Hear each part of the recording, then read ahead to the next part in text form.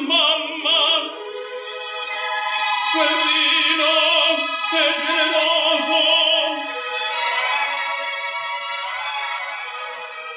e certo oggi troppi bicchierne ho tracanati vado fuori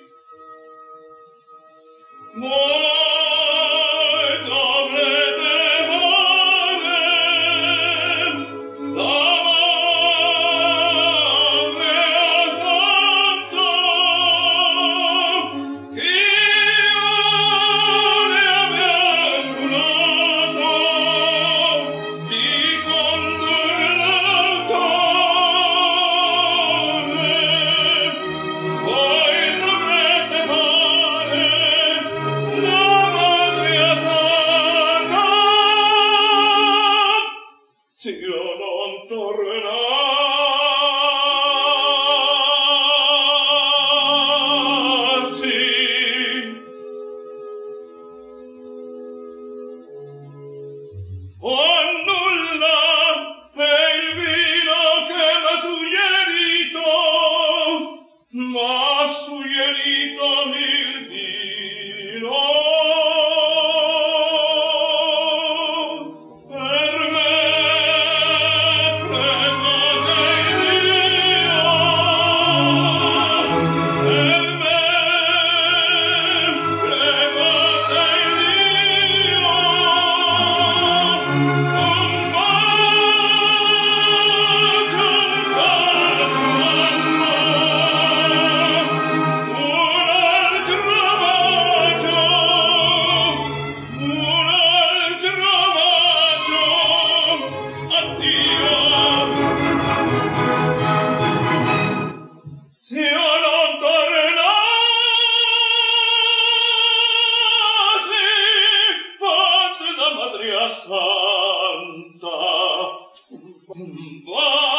ciò